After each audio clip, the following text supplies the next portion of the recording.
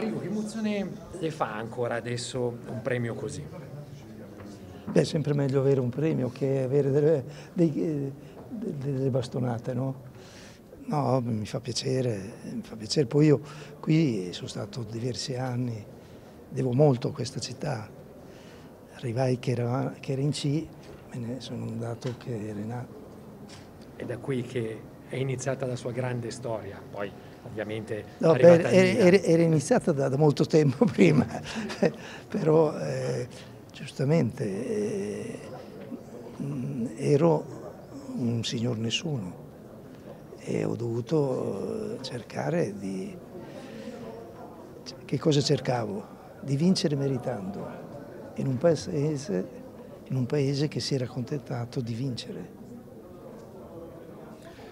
Ci saranno tanti cambi in panchina quest'estate, eh, Conte al Napoli, Fonseca che dovrebbe firmare a ore o giorni col Milan, Tiago Motta alla Juve, ce n'è uno in particolare che la stuzzica come abbinamento?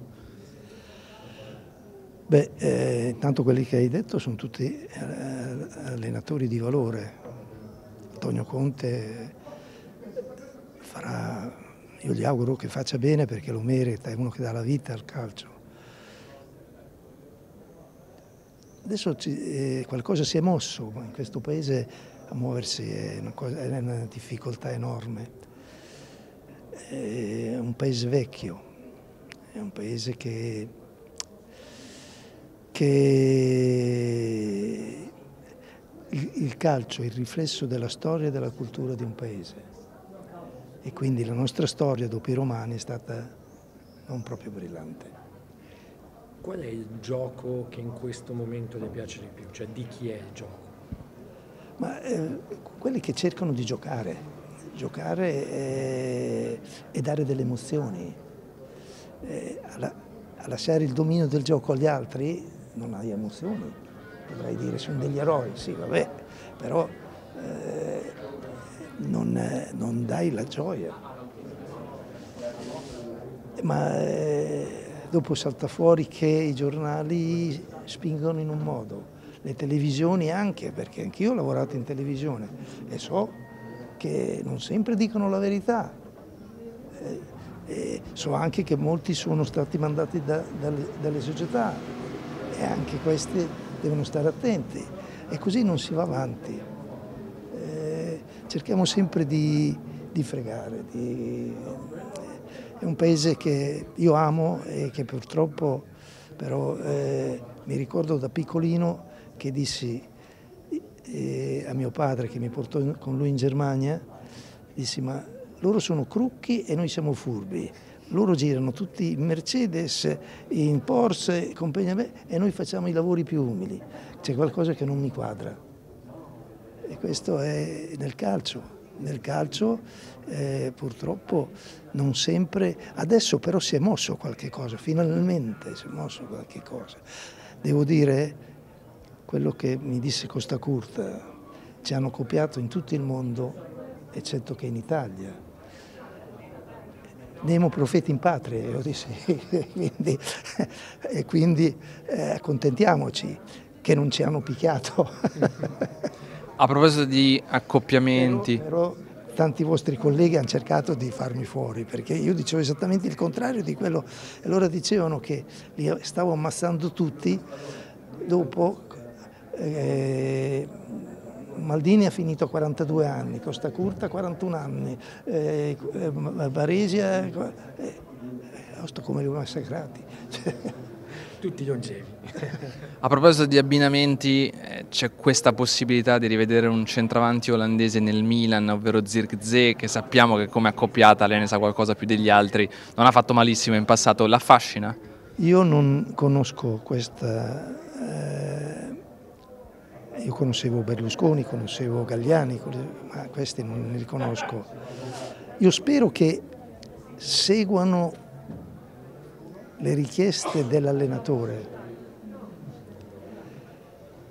perché io non ho mai visto que quelli che non sono allenatori che riescano a, a, a centrare il, giocatore in relazione a quello che vuole fare uno. Uno se vuole fare catenaccio dovrà prendere dei giocatori, se uno se vuole attaccare dovrà prendere... Eh, e, e io devo essere grato a Berlusconi e a tutti. Ho un record, vediamo se qualcuno riesce a sapere qual è il record. Io ho cominciato ad allenare eh, in seconda categoria. Solo finali vinte? Ho fatto seconda categoria, prima categoria perché avevamo vinto, eh, ho fatto quarta serie, C, B, B e A. Scudetto? Eh, il record che non sono stato mai esonerato, mai. Oggi è impossibile, dai. No, beh, anche allora era impossibile, perché credimi, era peggio Era di facile oggi. anche allora Sì, sì, sì, eh, eh, quando poi vai a... Dunque passai dal Cesena al Rimini, è come mettere adesso i russi e gli ucraini. E, e- e quando, quando, quando avevo fatto il contratto con il Rimini e sul giornale scrissero eh, fanno il nome di un certo fan- eh, agli allenatori, molto probabilmente Angelillo, Tom Rosati, eh, Dominghini, poi si fa il nome di un certo Arrigo Sacchi. Per favore non facciamo certi nomi. Mister, ehm, lei è stato tra i grandi promotori dell'arrivo di Antonio Conte sulla panchina dell'Italia. Crede che insomma è davvero la persona perfetta per riportare lo scudetto a Napoli?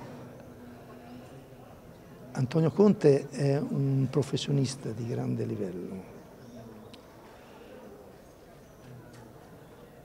Dà la vita e quando una persona è così, chapeau. Lui mi raccontava che eh, al mondiale lui si si è preso giù tutti gli allenamenti che facevo ma lui era ancora giovane, però aveva una persona seria, una persona seria, gli auguro tutto il meglio possibile. Abbiate pazienza anche voi un pochino, eh, perché per vendere più giornali la tattica è qu- questa, eh, la tattica è se vai bene di, di alzarli al massimo e se vai male di spararti addosso. Eh, no, eh, cerchiamo di, di- di- di capire, lasciare un po' di spazio, vedere. È un paese difficile. Io lo amo questo paese, ma è un paese vecchio. vecchio. Questo paese c'è una nazionale che non ha i campioni che aveva prima. Come la vede all'europeo Spalletti? Anche io non avevo dei campioni, Beh, un paio magari sì. no? Per arrivare in A no. Eppure sono arrivati in A. Eh, eh, se la stampa vuole, vuole non aiutare le persone, la stampa, la televisione, cominciano a dire, come dicevano con un campione, che dicevano che si doveva caricare sulle spalle la nazionale. L'hai ammazzato, perché nessuno può caricarsi sulle spalle uno, o due, o dieci, sono dieci da caricare. eh. Pesa. Dobbiamo imparare un po' a essere onesti in un paese che purtroppo non brilla in questo. Le chiedo dal punto di vista tattico, perché lei è maestro. No? Con il materiale a disposizione che ha Spalletti, cosa, lei come giocherebbe? Come giocherei? Sì. Dal punto di vista strategico. Guardi, guardi che Spalletti è molto bravo, però se lei fa eh, il giornalista, se lei fa l'allenatore in questo paese, ha più probabilità lei Di riuscire. di uscire. Guardi, eh, vogliamo sempre... Io sono stato premiato poco tempo fa in Croazia. Sono 4 milioni. noi quanti siamo? Loro dissero 60 milioni, io dissi uno. Siamo uno. Cosa vuol dire uno? Sì, perché uno per uno fa sempre solo uno. È un paese di furbi.